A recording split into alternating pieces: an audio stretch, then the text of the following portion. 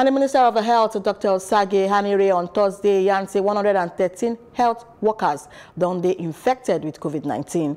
Ehanire Yan say uh, uh, Yan this one for the press brief, briefing of the Presidential Task Force for COVID-19 for inside Abuja. And Yan say there be workers for the public and private health facilities. In consumer advice to health workers, I say it is very dangerous to treat coronavirus patients without the use of a personal protective equipment, which they call PPE. The minister have been done task the first media briefing for Abuja for April 23 and say about 40 health workers for the country don't test positive for coronavirus.